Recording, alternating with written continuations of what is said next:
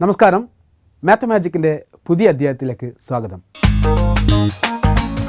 കഴിഞ്ഞ അധ്യായത്തിൽ നമ്മൾ എങ്ങനെയാണ് നിരവധി വർഷത്തെ കലണ്ടറുകൾ യാതൊരു ഉപകരണത്തിന്റെയും സഹായമില്ലാതെ മനക്കണക്കായി കണ്ടെത്തുന്നത് എന്ന് നമ്മൾ പഠിച്ചതാണ്. അതിന്റെ തുടർച്ചയായ കുറച്ച് ഭാഗങ്ങൾ നമ്മൾ ഇന്ന് ചർച്ച ചെയ്യാൻ പോവുകയാണ്. ഏതാനും ചില കോഡ് നമ്പറുകൾ പഠിച്ചു കഴിഞ്ഞാൽ നൂറ്റാണ്ടുകളുടെ കലണ്ടർ എങ്ങനെയാണ് പഠിക്കേണ്ടത് എന്ന് വളരെ ലളിതമായ ചില കൂട്ടിച്ചേർക്കലുകൾ കൂടി ചേർത്താൽ ഇന്ന് നമുക്കത് പഠിച്ചെടുക്കാൻ കഴിയുന്നതാണ്. ഓരോ വർഷത്തിന്റെയും കോഡ് നമ്പറുകൾ നമ്മൾ പഠിച്ചിട്ടുണ്ടായിരുന്നു. ഉദാഹരണമായി രണ്ടായിരത്തിന് പൂജ്യമാണ് എന്ന്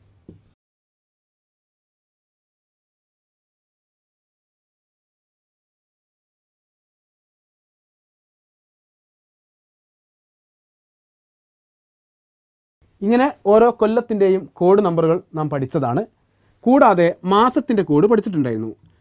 ജാനുവരിക്ക് ഏഴ് അല്ലെങ്കിൽ പൂജ്യം ഫെബ്രുവരിക്ക് മൂന്ന് മാർച്ചിന് മൂന്ന് ഏപ്രിൽ എന്ന മാസത്തിന് ആറ് മെയ് എന്ന മാസത്തിന് ഒന്ന് ജൂൺ എന്ന മാസത്തിന് നാല് ജൂലൈ ആറ് ഓഗസ്റ്റ് രണ്ട് സെപ്റ്റംബർ അഞ്ച് ഒക്ടോബർ പൂജ്യം നവംബർ മൂന്ന് ഡിസംബർ അഞ്ച്.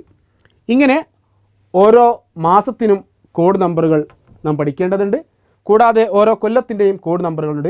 ഇതെല്ലാം കഴിഞ്ഞ അധ്യായത്തിൽ നമ്മൾ വളരെ വിശദമായി പ്രതിപാദിച്ചതാണ്. അതിന് ചില കൂട്ടിച്ചേർക്കലുകൾ ഉള്ളതുകൊണ്ട് ഒന്നുകൂടി അത് സ്ക്രീനിൽ കൊണ്ടുവന്നു എന്ന് മാത്രം. ഇനി നാം ചെയ്തിരുന്ന ഇതായിരുന്നു. ഉദാഹരണമായി രണ്ടായിരം സെപ്റ്റംബർ എട്ട് എന്ന തീയതിയാണ് കാണേണ്ടിയിരുന്നത് എങ്കിൽ നാം ചെയ്യേണ്ടത് ഇതാണ്. ഈ ഓരോന്നിന്റെയും കോഡുകൾ കൂട്ടുക എന്നുള്ളതാണ്. അതായത് രണ്ടായിരം എന്നതിന്റെ കോഡ് പൂജ്യമാണ്. സെപ്റ്റംബർ എന്നതിന്റെ കോഡ് അഞ്ച്. എട്ട് എന്നത് അങ്ങനെ തന്നെ ചേർത്താൽ മതിയാവും. അപ്പോൾ പൂജ്യം പ്ലസ് അഞ്ച് പ്ലസ് എട്ട് സമം പതിമൂന്ന്. ഇനി ചെയ്യേണ്ടത് ഈ പതിമൂന്നിൽ ഏഴ് കഴിഞ്ഞാൽ ബാക്കി എത്ര ഉണ്ട് എന്ന് നോക്കണം. ഏഴ് എന്ന നമ്പറോ അല്ലെങ്കിൽ ഏഴിന്റെ ഗുണിതങ്ങളോ മാറ്റി മാറ്റിക്കഴിഞ്ഞാൽ ബാക്കി എത്ര ഉണ്ട് എന്ന് നോക്കണം. അപ്പോൾ പതിമൂന്നിൽ നിന്ന് ഏഴ് കുറച്ചാൽ ആറ്. ആയതുകൊണ്ട് തന്നെ രണ്ടായിരം സെപ്റ്റംബർ എട്ട് എന്നത് രണ്ടായിരം സെപ്റ്റംബർ എട്ട് എന്നത് അത് ആറ് എന്നി എന്നിട്ട് നമ്മൾ പഠിച്ചിരുന്നു. ഒന്നാണെങ്കിൽ സൺഡേ രണ്ടാണെങ്കിൽ മൺഡേ ഇങ്ങനെ പഠിച്ചിരുന്നു. അപ്പോൾ ആറ് എന്നതുകൊണ്ട് നമുക്കത് Sunday Monday Tuesday Wednesday Thursday Friday ഇങ്ങനെ എണ്ണുന്ന സമയത്ത് രണ്ടായിരത്തി രണ്ടായിരം സെപ്റ്റംബർ എട്ട് എന്നത് അതൊരു വെള്ളിയാഴ്ചയാണ് എന്ന് നമുക്ക് കിട്ടിയിരുന്നു. ഇനി ശ്രദ്ധിക്കേണ്ടത് ഇവിടെ നാം ചില പ്രത്യേക കൊല്ലങ്ങളിൽ ചില വ്യത്യാസങ്ങൾ വരുന്നുവെന്ന് നമുക്കറിയാം. അതായത് ലീപ്പ് ഇയർ വരുന്ന സമയത്ത് അവിടെ ഫെബ്രുവരി ഇരുപത്തിയൊൻപതാണ്. അത്തരം ഘട്ടത്തിൽ ഈ ഒരു കോഡിൽ നിന്നും ചെറിയൊരു മാറ്റം വരുത്തേണ്ടത്. അതായത് നാം തന്നിരിക്കുന്ന കോഡുകളിൽ നിന്ന് ജനുവരി ഫെബ്രുവരി ഈ രണ്ട് മാസത്തിന്റെ നമ്പറിൽ നിന്ന് ഒന്ന് കുറയ്ക്കണമെന്നുള്ളതാണ്. ലീപ്പ് ഇയർ വരുന്ന സമയത്ത് അത് ഏതൊക്കെ ആയിരിക്കും? ലീപ്പ് ഇയർ വരുന്നുണ്ടാവുക. രണ്ടായിരം രണ്ടായിരത്തി നാല് രണ്ടായിരത്തി എട്ട് ഇങ്ങനെ നാലിന്റെ ഗുണിതങ്ങളായി വരുന്ന നമ്പറുകൾ. ആ വർഷത്തിലെ ജാനുവരി ഫെബ്രുവരി മാസത്തെ തീയതി നോക്കുന്ന സമയത്ത് ഒന്ന് കുറയ്ക്കണമെന്നുള്ളതാണ്. അതായത് ഏഴ് എന്നതിന് പകരം ആറ് എന്ന നമ്പർ കോഡായിട്ട് സ്വീകരിക്കേണ്ടി വരും. ഫെബ്രുവരി എന്നതിന് മൂന്ന് എന്ന പകരം രണ്ട് എന്ന നമ്പർ കോഡായിട്ട് സ്വീകരിക്കേണ്ടി വരും. ഇത്രമാത്രം ഓർത്താൽ മതി. ഇനി പറയാൻ പോകുന്ന കാര്യം നിരവധി രണ്ടായിരം മുതൽ രണ്ടായിരത്തി തൊണ്ണൂറ്റി ഒൻപത് വരെയുള്ള കൊല്ലത്തെയും ഡേറ്റ് എങ്ങനെയാണ് കാണേണ്ടതെന്ന് ഓരോ ഇയറിന്റെയും കോഡ് എന്ത് എന്നൊക്കെ തന്നെ മുൻ അധ്യായത്തിൽ വളരെ വിശദമായി പ്രതിപാദിച്ചതാണ്. അധ്യായം കാണുന്ന ആളുകൾക്ക് അതിൽ നിന്ന് വീണ്ടും വീണ്ടും ഓർത്തെടുക്കാൻ കഴിയുന്നതായിരിക്കും. ഇനി ശ്രദ്ധിക്കാം. രണ്ടായിരത്തി ഒരുന്നൂറിന് ശേഷമുള്ള ഒരു കൊല്ലമാണെങ്കിൽ എങ്ങനെയായിരിക്കും കാണുക? അല്ലെങ്കിൽ രണ്ടായിരത്തിന് തൊട്ട് മുമ്പ് അതായത് ആയിരത്തി തൊള്ളായിരം മുതൽ രണ്ടായിരം വരെയുള്ള ഒരു കൊല്ലത്തെ കലണ്ടർ എങ്ങനെയായിരിക്കും കാണുക? അതുപോലെ രണ്ടായിരം മുതൽ രണ്ടായിരത്തി ഒരുന്നൂറ് വരെയുള്ള കൊല്ലങ്ങളിലെ കലണ്ടർ എങ്ങനെയായിരിക്കും കാണാം? വളരെ ലളിതമാണ്. അതായത് രണ്ടായിരത്തി പത്തൊൻപത് രണ്ടായിരത്തി പത്തൊമ്പതിന്റെ ഡേറ്റ് കാണുന്നതിന്റെ കൂടെ ഒന്ന് അധികം ആഡ് ചെയ്ത് കഴിഞ്ഞാൽ ആയിരത്തി തൊള്ളായിരത്തി പത്തൊൻപതിലെ ഡേറ്റ് കിട്ടുമെന്നുള്ളതാണ്. ഉദാഹരണമായി രണ്ടായിരത്തി പത്തൊൻപത്. ഒക്ടോബർ ഇരുപത്തി അഞ്ച് എന്നത് വെള്ളിയാഴ്ചയാണ് എന്ന് നമുക്കറിയാം. എങ്കിൽ ആയിരത്തി തൊള്ളായിരത്തി പത്തൊൻപതിലെ ഒക്ടോബർ ഇരുപത്തിയഞ്ച് അത് ശനിയാഴ്ചയായിരിക്കും. ഒന്ന് അധികം കൂട്ടിയാൽ മതി. വളരെ ലളിതമാണ്. അപ്പോൾ നമുക്ക് രണ്ടായിരം മുതൽ ശേഷം വരുന്ന രണ്ടായിരത്തി ഒരുന്നൂറ് വരെയുള്ള ഇയറിന്റെ കോഡ് എങ്ങനെയാണ് കാണേണ്ടത് എന്ന് നമ്മൾ പഠിച്ചതാണ്. ആ വിദ്യ അറിയുന്ന ആളുകൾക്ക് ആയിരത്തി തൊള്ളായിരം മുതൽ രണ്ടായിരം വരെയും ലളിതമായി കാണാവുന്നതാണ് ഒന്ന് അധികം ചേർത്താൽ മതിയാവും. എന്നെ ശ്രദ്ധിക്കുക. ആയിരത്തി തൊള്ളായിരത്തി നാൽപ്പത്തി ഏഴ് ഓഗസ്റ്റ് പതിനഞ്ച് എന്നായിരിക്കും. ഇതാണ് നമുക്ക് കാണേണ്ടത് എങ്കിൽ നമുക്കറിയാം രണ്ടായിരത്തി നാൽപ്പത്തി ഏഴ് ഓഗസ്റ്റ് പതിനഞ്ച് എന്നത് ഒരു വ്യാഴാഴ്ചയാണ് തേഴ്സ്ഡേ ആണ്. എങ്കിൽ ആയിരത്തി തൊള്ളായിരത്തി നാൽപ്പത്തി ഏഴ് ഓഗസ്റ്റ് പതിനഞ്ച് എന്തായിരിക്കും? ഒന്ന് കൂട്ടി കൊടുത്താൽ മതി. അപ്പോൾ ആയിരത്തി തൊള്ളായിരത്തി നാൽപ്പത്തി ഏഴ് ഓഗസ്റ്റ് പതിനഞ്ച് വെള്ളിയാഴ്ചയായിരിക്കും എങ്കിൽ രണ്ടായിരത്തി ഒരുന്നൂറ്റി നാൽപ്പത്തി ഏഴ് ഓഗസ്റ്റ് പതിനഞ്ച് ഏത് ദിവസമായിരിക്കും? അപ്പോൾ നമുക്കറിയാം രണ്ടായിരത്തി നാൽപ്പത്തി ഏഴ് ഓഗസ്റ്റ് പതിനഞ്ച് നമ്മൾ നമ്മൾ പറഞ്ഞു വ്യാഴം ആണെന്ന് പറഞ്ഞു. എങ്കിൽ രണ്ടായിരത്തി ഒരുന്നൂറ്റി നാൽപ്പത്തി ഏഴ് ഓഗസ്റ്റ് പതിനഞ്ച് എന്നത് അത് ബുധനാഴ്ചയായിരിക്കും. അപ്പോൾ ഓരോ നൂറ് കൊല്ലം കഴിയുന്നതിനനുസരിച്ചും ഓരോ നമ്പറുകൾ കുറച്ച് കുറച്ച് പോയാൽ മതിയാവും.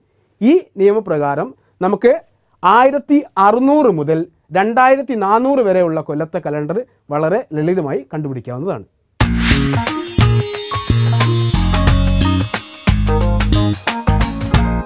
മാത്തമാറ്റിക്കിലേക്ക് ഒരിക്കൽ കൂടി സ്വാഗതം. അടുത്തതായിട്ട് നമ്മൾ ചർച്ച ചെയ്യാൻ പോകുന്നത് ഏത് രണ്ടക്ക സംഖ്യകളെയും അഥവാ ഏത് ടു ഡിജിറ്റ് നമ്പറുകളും എങ്ങനെയാണ് എളുപ്പത്തിൽ ഗുണിക്കുക എന്നുള്ളതാണ്.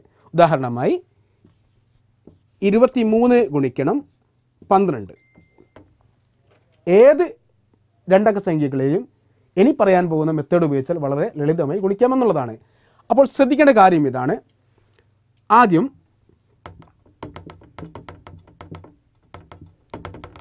ഒറ്റയുടെ സ്ഥാനത്തെ നമ്പറുകൾ പരസ്പരം ഗുണിക്കണം.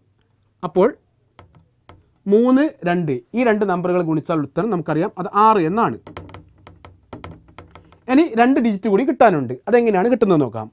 അടുത്തത്. രണ്ടാമത്തെ ഡിജിറ്റ് കിട്ടാൻ ചെയ്യേണ്ടത് ഇതാണ്. ഒന്നാമത്തെ നമ്പറിന്റെ പത്തിന്റെ സ്ഥാനത്തുള്ള നമ്പറിനെ കൊണ്ട് രണ്ടാമത്തെ നമ്പറിന്റെ ഒറ്റയുടെ സ്ഥാനത്തെ നമ്പറിനെ ഗുണിക്കുക. അതുപോലെ രണ്ടാമത്തെ നമ്പറിന്റെ പത്തിന്റെ സ്ഥാനത്തുള്ള നമ്പർ കൊണ്ട് ഒന്നാമത്തെ നമ്പറിന്റെ ഒറ്റയുടെ സ്ഥാനത്തുള്ള നമ്പറിനെയും ഗുണിക്കണം. ഇങ്ങനെ വരും. അപ്പോൾ രണ്ടിനെ കൊണ്ട് രണ്ടിനെ ഗുണിച്ചാൽ നാല്. ഒന്നിനെ കൊണ്ട് മൂന്നിനെ ഗുണിച്ചാൽ മൂന്ന് തന്നെ. രണ്ടിനെ കൊണ്ട് രണ്ടിനെ ഗുണിച്ചാൽ നാല് പ്ലസ് ഒന്നിനെ കൊണ്ട് മൂന്നിനെ ഗുണിച്ചാൽ മൂന്ന്. അപ്പോൾ ഏഴ് എന്ന് നമുക്ക് കിട്ടിയിരിക്കുന്നു. അപ്പോൾ രണ്ടാമത്തെ ഡിജിറ്റിൽ വരുന്നത് ഏഴ് എന്ന നമ്പറാണ് എന്ന് മനസ്സിലാവുന്നു. ഇനി മൂന്നാമത്തെ ഡിജിറ്റ് വരുന്നത് ഏതാണെന്ന് നോക്കാം.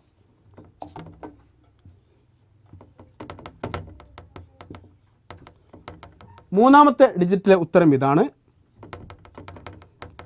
പത്തിന്റെ സ്ഥാനത്തെ നമ്പറുകൾ ഗുണിക്കുക. ഒന്ന് എന്ന നമ്പറും രണ്ട് എന്ന നമ്പറും ഗുണിക്കുന്നു. അപ്പോൾ രണ്ട് എന്ന് കിട്ടിയിരിക്കുന്നു. അപ്പോൾ ഏതൊക്കെയാണ് ആൻസർ വന്നിരിക്കുന്ന നമ്പർ ഏതൊക്കെയാണ്? ആറ് ഏഴ് രണ്ട്. ഇരുന്നൂറ്റി എഴുപത്തിയാറ് എന്ന് കിട്ടിയിരിക്കുന്നു. ഒരു രണ്ട് ഡിജിറ്റ് നമ്പറുകളെ രണ്ടെണ്ണം എങ്ങനെയാണ് ഗുണിച്ചത് നോക്കാം. ആദ്യം ഒറ്റയുടെ സ്ഥാനത്തെ നമ്പറുകൾ തമ്മിൽ ഗുണിച്ചിരിക്കുന്നു. മൂന്നും രണ്ടും ഗുണിച്ചിരിക്കുന്നു. അപ്പോൾ ആറ് എന്ന് ലഭിച്ചിരിക്കുന്നു. രണ്ടാമത് ചെയ്തത് ആദ്യത്തെ നമ്പറിന്റെ പത്തിന്റെ സ്ഥാനത്തെ നമ്പർ കൊണ്ട് രണ്ടാമത്തെ നമ്പറിന്റെ ഒറ്റയുടെ സ്ഥാനത്തെ നമ്പറിനെയും രണ്ടാമത്തെ നമ്പറിന്റെ പത്തിന്റെ സ്ഥാനത്തുള്ള നമ്പർ കൊണ്ട് ഒന്നാമത്തെ നമ്പറിന്റെ ഒറ്റയുടെ സ്ഥാനത്തുള്ള നമ്പറിനെയും ഇങ്ങനെ ക്രോസ് ആയി ഗുണിച്ചിരിക്കുന്നു. രണ്ടിനെ രണ്ട് കൊണ്ട് ഗുണിച്ചപ്പോൾ നാല് മൂന്നിനെ ഒന്ന് കൊണ്ട് ഗുണിച്ചപ്പോൾ മൂന്ന്. നാലും മൂന്നും കൂട്ടിയപ്പോൾ ഏഴ് എന്ന് ലഭിച്ചിരിക്കുന്നു. മൂന്നാമത്തെ ഡിജിറ്റ് കിട്ടിയത് ഇങ്ങനെയാണ്. പത്തിന്റെ സ്ഥാനത്തെ നമ്പറുകൾ തമ്മിൽ ഗുണിച്ചിരിക്കുന്നു. രണ്ടിനെ ഒന്ന് കൊണ്ട് ഗുണിച്ചപ്പോൾ രണ്ട്. അങ്ങനെ ഇരുന്നൂറ്റി എഴുപത്തിയാറ് എന്ന് വളരെ ലളിതമായി ലഭിച്ചിരിക്കുന്നു. മറ്റൊരു ഉദാഹരണം കൂടി കാണാം.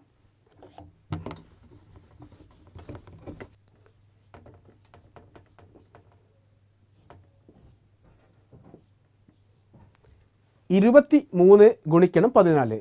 ഞാൻ ഒരിക്കൽ കൂടി സ്റ്റെപ്പുകൾ അവതരിപ്പിക്കാം.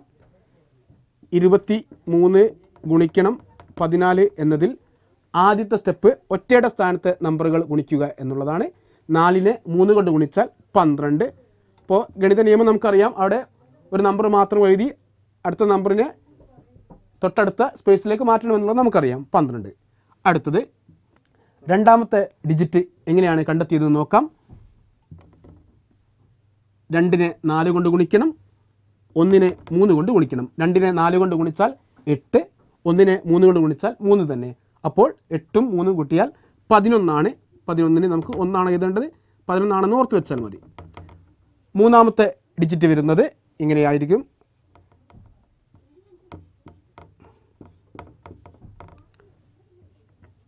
പത്തിന്റെ സ്ഥാനത്തുള്ള നമ്പറുകളാണ് ഗുണിക്കേണ്ടത്.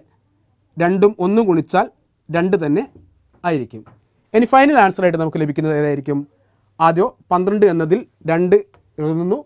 ബാക്കി ഒന്നുണ്ട് എന്ന് നമുക്കറിയാം. രണ്ടാമത്തതിൽ പതിനൊന്നിന്റെ കൂടെ ഈ ഒന്ന് കൂട്ടുമ്പോൾ പന്ത്രണ്ട് ലഭിക്കുന്നു. വീണ്ടും ഒന്ന് ബാക്കിയുണ്ടാവും. അവസാന ഡിജിറ്റ് രണ്ട് രണ്ടിനോട് ഈ ഒന്ന് കൂട്ടിയാൽ മൂന്ന്. ഫൈനൽ ആൻസറായിട്ട് മുന്നൂറ്റി ഇരുപത്തി രണ്ട് എന്ന് നമുക്ക് ലഭിച്ചിരിക്കുന്നു. മറ്റൊരു ഉദാഹരണം കൂടി നോക്കാം. ഇരുപത്തി ഒൻപത് ഗുണിക്കണം പന്ത്രണ്ട്.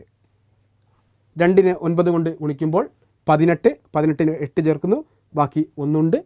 ഇനി രണ്ടിന് രണ്ട് കൊണ്ട് ഗുണിക്കുന്നു ഒന്നിന് ഒൻപത് കൊണ്ട് ഗുണിക്കുന്നു. രണ്ടിന് രണ്ട് കൊണ്ട് ഗുണിച്ചാൽ നാല് ഒന്നിന് ഒൻപത് കൊണ്ട് ഗുണിച്ചാൽ ഒൻപത്. നാലും ഒൻപതും കൂട്ടിയാൽ പതിമൂന്ന് പതിമൂന്നും ഒന്നും കൂട്ടിയാൽ പതിനാല്. ബാക്കി ഒന്നുണ്ട്. ഇനി ഒന്നിന് രണ്ട് കൊണ്ട് ഗുണിക്കുന്നു. അപ്പോൾ രണ്ട് തന്നെയാണ്. നേരത്തെ ബാക്കി വന്നിരുന്ന ഒന്ന് കൂട്ടുമ്പോൾ മൂന്ന്. ഫൈനൽ ആൻസർ മുന്നൂറ്റി നാൽപ്പത്തി എട്ട് മറ്റൊരു ഉദാഹരണം കൂടി നോക്കാം. മുപ്പത്തി രണ്ട് ഗുണിക്കണം ഇരുപത്തി മൂന്ന് മൂന്നിനെ രണ്ട് കൊണ്ട് ഗുണിക്കുമ്പോൾ ആറ്. രണ്ടാമത്തെ സ്റ്റെപ്പിൽ മൂന്നിനെ മൂന്ന് കൊണ്ട് ഗുണിക്കുമ്പോൾ ഒൻപത്. രണ്ടിനെ രണ്ട് കൊണ്ട് ഗുണിക്കുമ്പോൾ നാല്. പതിമൂന്ന്. പതിമൂന്നിന് മൂന്ന് ചേർക്കുന്നു. ബാക്കി ഒന്നുണ്ട്. മൂന്നിനെ രണ്ട് കൊണ്ട് ഗുണിച്ചാൽ ആറ്. നേരത്തെ ബാലൻസ് വന്ന ഒന്നുകൂടി കൂട്ടുമ്പോൾ ഏഴ്. ഫൈനൽ ആൻസർ എഴുന്നൂറ്റി മുപ്പത്തി ആറ് ഇങ്ങനെ വളരെ ലളിതമായി ഏത് ടു ഡിജിറ്റ് നമ്പറിനെയും ഏത് രണ്ടക്ക സംഖ്യയെയും എളുപ്പത്തിൽ ഗുണിക്കാവുന്നതാണ്.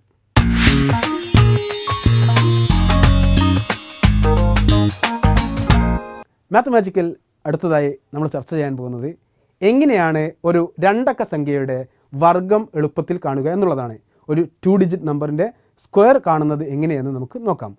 ഉദാഹരണമായി ഇരുപത്തി ഒന്ന് സ്ക്വയർ നമുക്കറിയാം സ്ക്വയർ എന്നത് ഒരു നമ്പറിനെ ആ നമ്പർ കൊണ്ട് തന്നെ ഗുണിക്കുന്നതിനെയാണ് സ്ക്വയർ എന്ന് പറയുന്നത്. ഇരുപത്തി ഒന്ന് സ്ക്വയർ എന്ന് പറഞ്ഞാൽ ഇരുപത്തി ഒന്ന് ഗുണിക്കണം ഇരുപത്തിയൊന്ന് എന്നതാണ്. അപ്പോൾ എങ്ങനെയാണ് എളുപ്പത്തിൽ കാണുന്നത് നോക്കാം. ചെയ്യേണ്ടത് മെത്തേഡ് ഇതാണ്. ആദ്യം പത്തിന്റെ സ്ഥാനത്തുള്ള നമ്പറിന്റെ വർഗം കാണണം എന്നുള്ളതാണ്. രണ്ടിന്റെ വർഗം നാല്.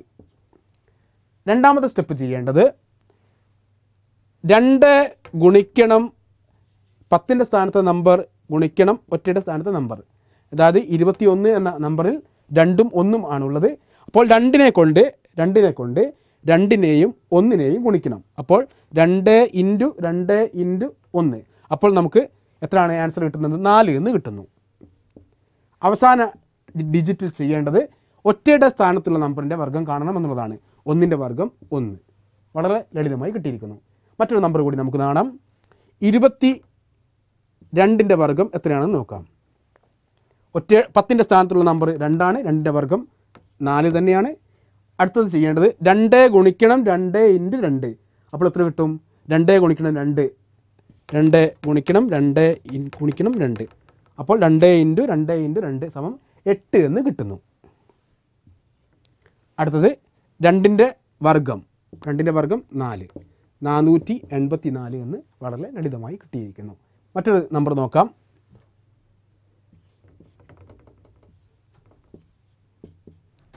നാൽപ്പത്തി രണ്ടിന്റെ വർഗം. ആദ്യത്തെ സ്റ്റെപ്പിൽ ചെയ്യേണ്ടത് ആദ്യ ഡിജിറ്റിന്റെ വർഗം കാണണം. പത്തിന്റെ സ്ഥാനത്തുള്ള ഡിജിറ്റ് നാലാണ് നാലിന്റെ വർഗം പതിനാറ്. പതിനാറ്. രണ്ടാമത് ചെയ്യേണ്ടത് രണ്ട് ഗുണിക്കണം നാല് ഗുണിക്കണം രണ്ട്. അപ്പോൾ രണ്ടിനെ നാല് കൊണ്ട് ഗുണിച്ചാൽ എട്ട് എട്ടിനെ രണ്ട് കൊണ്ട് ഗുണിച്ചാൽ പതിനാറ്. പതിനാറ്. അപ്പോൾ നമുക്കറിയാം ഒരു ടു ഡിജിറ്റ് വന്നു കഴിഞ്ഞാൽ ഒരു ഡിജിറ്റ് മാത്രം എഴുതുകയും പത്തിന്റെ സ്ഥാനത്ത് വരുന്ന നമ്പറിനെ ഇടത് ഭാഗത്തേക്ക് ചേർക്കുകയും ചെയ്യണമെന്ന് നമുക്കറിയാം. അപ്പോൾ പതിനാറ് എന്ന് ഇങ്ങനെ ചേർക്കണം. മൂന്നാമത് രണ്ടിന്റെ വർഗം.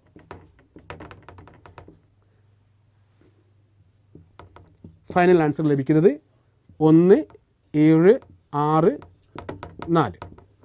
നാൽപ്പത്തി രണ്ടിന്റെ വർഗം ആയിരത്തി എഴുന്നൂറ്റി അറുപത്തി നാല് എന്ന് നമുക്ക് ലഭിച്ചിരിക്കുന്നു.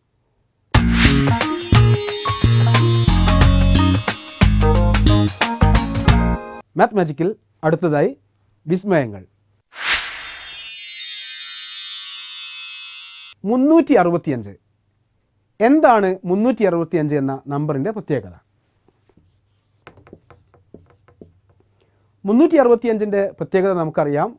അത് ഒരു കൊല്ലത്തിലെ അതിവർഷമല്ലാത്ത കൊല്ലത്തിലെ ആകെ ദിവസങ്ങളുടെ എണ്ണമാണ് എന്ന് നമുക്കറിയാം. എന്നാൽ മുന്നൂറ്റി അറുപത്തിയഞ്ചിന് വേറെയും ചില പ്രത്യേകതകൾ കൂടിയുണ്ട്. ഒരു പ്രത്യേകത നമുക്കിവിടെ ചർച്ച ചെയ്യാം. പത്ത് സ്ക്വയർ പ്ലസ് പതിനൊന്ന് സ്ക്വയർ പ്ലസ് പന്ത്രണ്ട് സ്ക്വയർ സമം പതിമൂന്ന് സ്ക്വയർ പ്ലസ് പതിനാല് സ്ക്വയർ. നമുക്ക് നോക്കാം. പത്തിന്റെ സ്ക്വയർ നൂറ് പതിനൊന്നിന്റെ സ്ക്വയർ നൂറ്റി ഇരുപത്തി ഒന്ന് പന്ത്രണ്ടിന്റെ സ്ക്വയർ നൂറ്റി നാൽപ്പത്തി നാല് പതിമൂന്നിന്റെ സ്ക്വയർ നൂറ്റി അറുപത്തി ഒൻപത് പതിനാലിന്റെ സ്ക്വയർ നൂറ്റി തൊണ്ണൂറ്റി ആറ്. അപ്പോൾ നൂറ് നൂറ്റി ഇരുപത്തിയൊന്ന് നൂറ്റി നാൽപ്പത്തിനാല് ഈ മൂന്ന് നമ്പറുകൾ കൂട്ടിക്കഴിഞ്ഞാൽ മുന്നൂറ്റി അറുപത്തി അഞ്ച് എന്ന് ലഭിക്കുന്നു. നൂറ്റി അറുപത്തി ഒൻപതും നൂറ്റി തൊണ്ണൂറ്റി ആറും കൂട്ടിക്കഴിഞ്ഞാലും നമുക്ക് മുന്നൂറ്റി അറുപത്തി അഞ്ച് എന്ന് ലഭിക്കുന്നു. ഇങ്ങനെ മുന്നൂറ്റി അറുപത്തി അഞ്ചിന് ഇങ്ങനെ ഒരു പ്രത്യേകത കൂടിയുണ്ട്. പത്ത് മുതൽ പതിനാല് വരെയുള്ള നമ്പറുകൾ നമുക്കറിയാമല്ലോ. അപ്പോൾ പത്തിന്റെ സ്ക്വയർ പതിനൊന്നിന്റെ സ്ക്വയർ പന്ത്രണ്ടിന്റെ സ്ക്വയർ ഈ മൂന്ന് വർഗങ്ങൾ കൂടി കൂട്ടിക്കഴിഞ്ഞാൽ പതിമൂന്നിന് സ്ക്വയർ പ്ലസ് പതിനാല് സ്ക്വയറും എന്നതിന്റെ തുകക്ക് തുല്യമായിരിക്കും. മാത്ത് മാജിക്കിൽ നിരവധി എളുപ്പമാർഗങ്ങളും ഗണിത വിസ്മയങ്ങളും നമ്മൾ ഇന്ന് ചർച്ച ചെയ്തു കഴിഞ്ഞു. ഒട്ടനവധി വിസ്മയങ്ങളും ഗണിത രഹസ്യങ്ങളും പരിചയപ്പെടാം. അടുത്ത എപ്പിസോഡിൽ കാണുന്നവരെയും ഗുഡ് ബൈ